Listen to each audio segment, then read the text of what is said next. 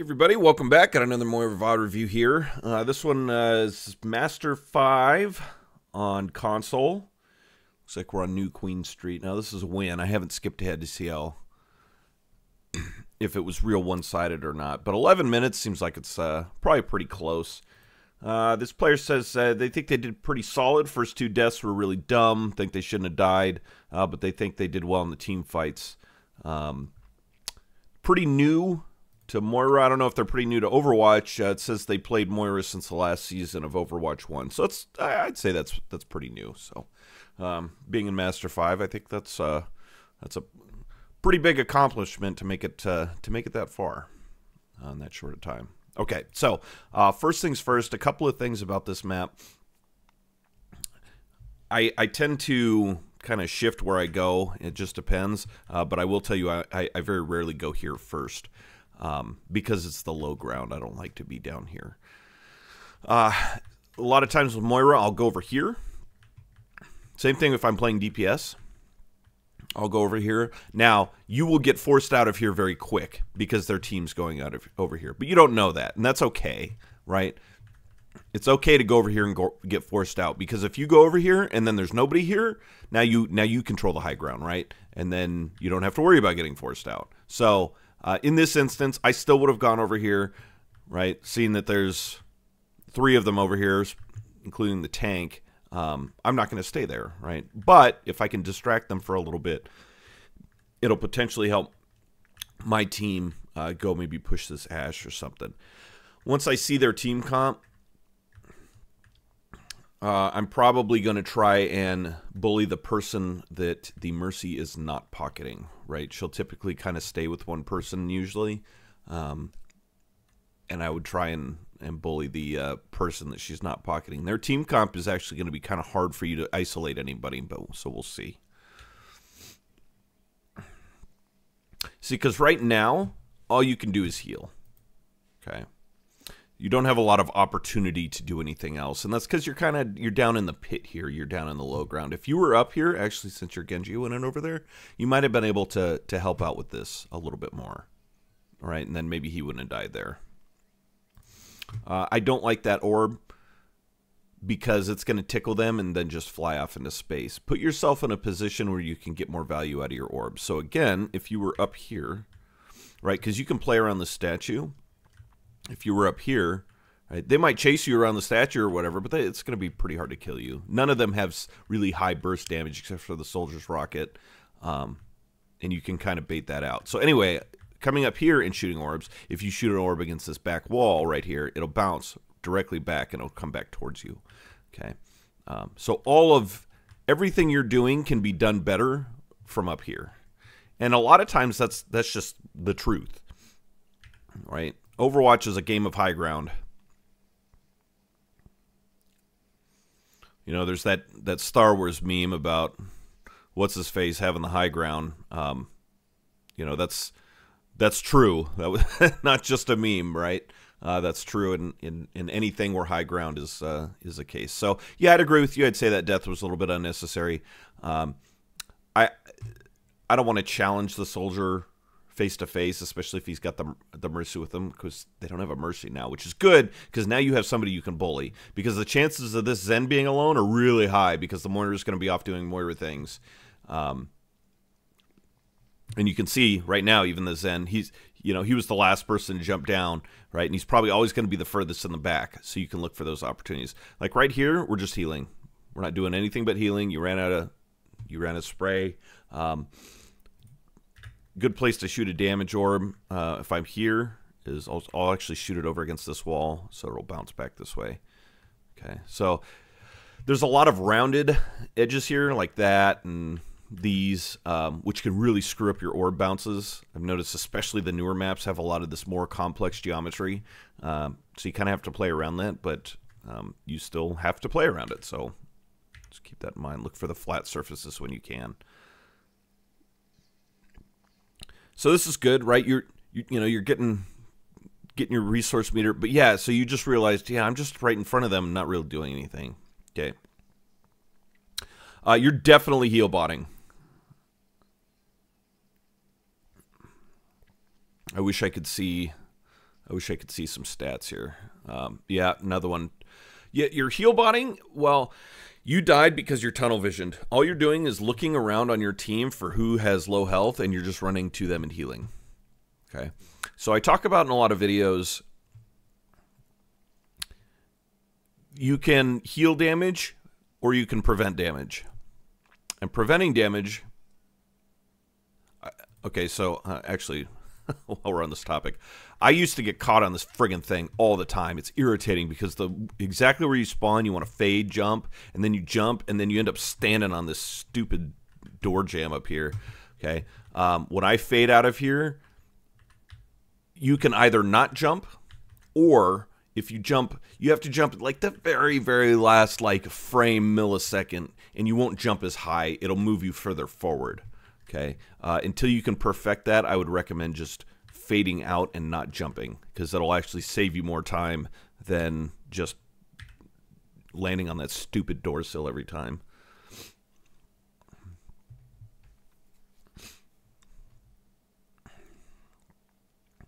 So right now, I want to be looking for damage. I want to be looking for damage. I want to be looking for a target that I can isolate and I can beam down with my coalescence. Okay. Um, their Zen has ult, right? I would I would be looking to force that out. That would be that would be my goal here. Because trading coalescence for trans is huge. Because trans takes longer to build, right? Unless you got this God Zen who's doing a ton of damage. Um, you can you can farm your coalescence faster than he can get another trans. So it really helps your ult economy if you can you if you can force that out. Uh, okay, we're still holding on to our ult here. Okay, because you could have counter cold there. You could have coalescence the uh, the grav to help keep your your team up. Um, yeah, this is another case of we're not really doing anything. Ooh. That's close. Okay, so you know he's over there. That's good. That's good. Right? If you have a a teammate off by themselves and they're they're trying to take an off angle, supporting with that is is something that Moira does really well because you can go bounce over to them, help them secure that kill, and then fade over to to somewhere else. It's a good jump. Okay. We still haven't used our coalescence. Okay. Uh, don't hold on to your coalescence this long.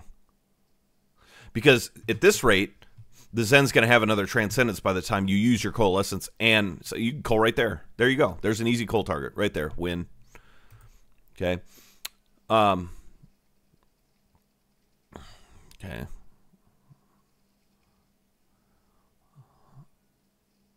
He's going to have another Transcendence by the time you use and get your coalescence. Okay. And it, it's going to make make it hard for you to outcycle him. Okay. All right. I didn't. Let's go back to this. Why does it do that sometimes?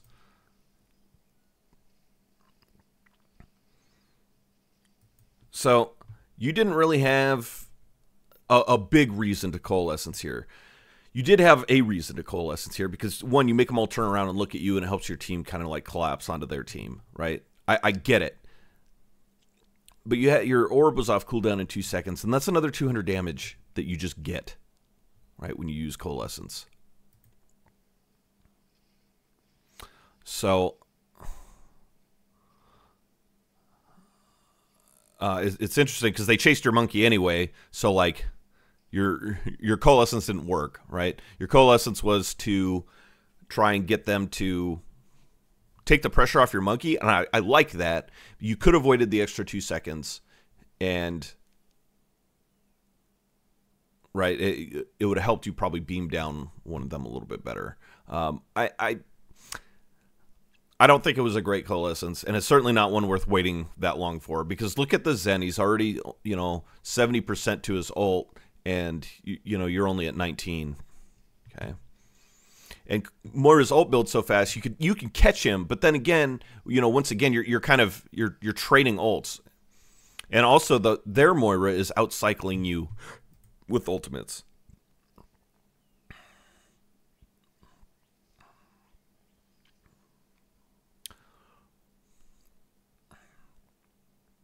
So, so far, what I'd like to see is definitely more looking for isolated targets and targeting them and not just staying with the core of your team. Okay. Uh, not holding onto your coalescence and, and looking for a, the opportunity to use it faster. Okay. And there, there were definitely some opportunities. It, using coalescence does not have to be a five man thing. You don't have to hit everybody, right? All you got to do is chase down. Look at that. See, you're not you don't even have your ult yet, and he's already that's his second trans. Um, I forgot what I was saying. you use your coalescence faster, right? That way you don't get out tempoed by the enemy team. Because right now, again, we're just kind of heal botting, which here's the thing sometimes that works well, right? But a lot of the times it's not really necessary. If your team was going to win the fight, they were going to win the fight anyway. All right, and I'd rather see you using that somewhere else. Um, a couple of things, if you didn't know, since well, push is new to Overwatch 2, so I guess anybody is new. Uh, in push, having more people on the robot does not make it move faster. It moves at the same speed whether there's one person on it or five people on it. Okay, it is it is not like okay. Here's a good coalescence opportunity. Okay, so why is that a good coalescence opportunity? Can you heal your brig? No. What can you do? Put a ton of pressure on them and take the pressure off of her, and maybe she lives. And then if she lives long enough for the anti to wear off, then then you heal her and you keep your team going. So uh, here's another opportunity to use coalescence. Okay.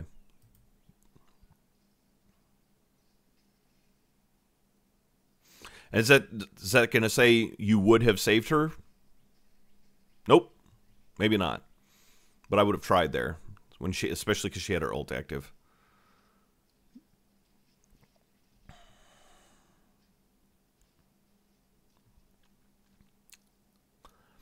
Yeah, I'd like to see more off angling from you. And off angling does not mean you have to be off in crazy land somewhere. Off angling means, right, you're here. Yeah, you get pushed out by the Reaper. That's fine. Or over here, right? You're not directly behind this. You don't need to be directly behind the core of your team. The more you spread out this this front line, okay, the more directions the enemy team has to look and the more likely it is that they're not all going to focus the same target.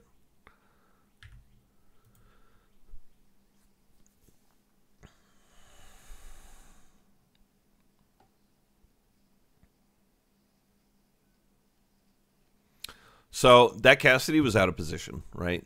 He was too close, and she can run him down. That stuff like that is never your fault. Okay, I would never blame a support for that. Okay, but you guys are kind of all over the place right now. And I don't mean like because if you're, you know, several people are taking off angles, right? It's going to feel like you're kind of all over the place, but you guys are engaging at different times. If you're engaging at different times, then they the enemy team has the opportunity to focus targets.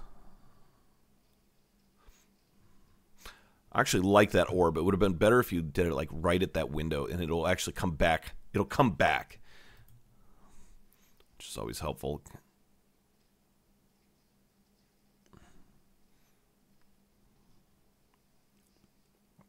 Okay, so the Junker Queen's about to ult here.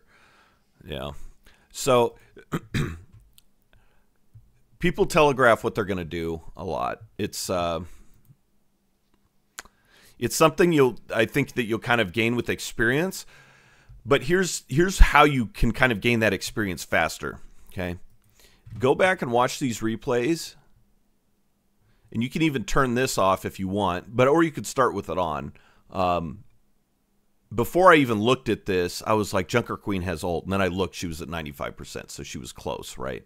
Um, and then what you do is you go to where they use their ults and then watch like the 10 seconds before they ult or 15 seconds before they ult from their point of view right? And your point of view or just any point of view where you, you can see them. Um, you can see their behaviors, and, and people kind of telegraph their ults. And what I mean by telegraph is that it's there's like a thing, you know, that they'll do before they ult, right? It's like them giving you a preview of what they're about to do uh, through their through their positioning and and behavior, right? That Junker Queen was kind of running forward ahead of the ahead of the robot and you guys were all there, she's gonna ult. Like basically that's you know, that's it. Okay, so now we're holding on to our coalescence again, right? Look, don't just stand here. Go and look for opportunities to do damage and to put pressure, right? They have an Ana now, right? It's that same the player that was playing Zen. Okay, go bully that person. Press tab, see what they have, and go put some pressure on them. She's over here. They are all looking over here. Go give her a hard time. So, if you go over there and beam her, right, she's going to start looking at you. If she's looking at you, she's not damaging your team and she's not healing hers.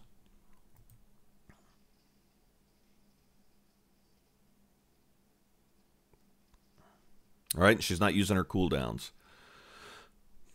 And now she's dead, right? So you could have done that. You could have helped that happen faster, right? Because if she's looking at you, then she's definitely not looking at your Cassidy.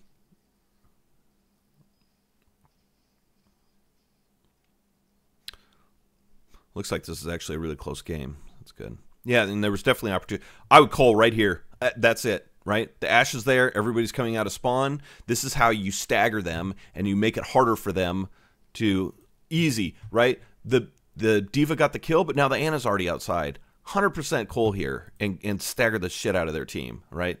Because now the Ana has no cooldowns. She used her grenade and she used her sleep. I would fade up there and kill her ass right now. Because now, right, you just heal botting. There's no reason for you to be on here. She's going to get her cooldowns back. Okay, you didn't use your orb again. You may maybe you don't know this. Okay, so practice this. It's it's not hard. It'll take you like two tries to figure it out. What you do is you cast your orb, and as soon as the orb flies out, you cast your coalescence. It's called an animation cancel. So you throw the orb and then cast your coalescence like immediately, right? And it'll it'll cancel the rest of the orb animation and it'll start your coalescence. So it does two things. It gets you from your orb to your coalescence quicker, and then it also allows you to use an orb during the ultimate, right? Because the, the orb cooldown and the ultimate are the same length, right? Eight seconds. So it's good fade. Yeah, you, you definitely are a heal bot. Okay, and I think you're gonna you'll find that you'll be able to climb a lot higher um, if if you get it right from that. Look, that Ana's over there by herself. Just go kill her. You're sucking a thousand thousand hit point Bob. Go kill the Ana, right? She ends up dying, right? Because your team's kind of picking up your slack. Okay. Um, it looks like this is about it. Yeah, I, I would say you got carried a little bit in this game. So, you know, you, you did some things well, right? But I, I think you got carried a little bit, and there was a lot of opportunity for you to carry your team by giving their team a hard time, right? So, big picture, I want to see from you. Uh, work on your positioning a little bit. Try and use the high ground a little more. Okay, like what I talked about in the very beginning. Use your coalescence for a purpose, right? Use it to beam somebody down. Just use it. Get it out. You're gonna you're gonna build it again really quickly. You don't need a big five man, ten man ult, right? Where you're hitting all your team and all the enemy team. Um, that nobody cares about that stuff. Just get a single kill, and that's all you need to swing a team fight. Uh, and then work on you know isolating targets just in general. Look for opportunities for you to to look for people who are by themselves. Look for people who you can distract. Right, you some of your best healing is going to come from stuff that doesn't show up on the scoreboard, right? Because you're preventing that damage. Okay. Uh, and then uh, with your ultimates, again, just use that uh, uh animation cancel, and uh, you'll you'll start getting more value out of your ultimates. So, all right, so that's some that's some stuff to work on. Um, and I hoped it helped. So let me know if you have any questions. Good luck.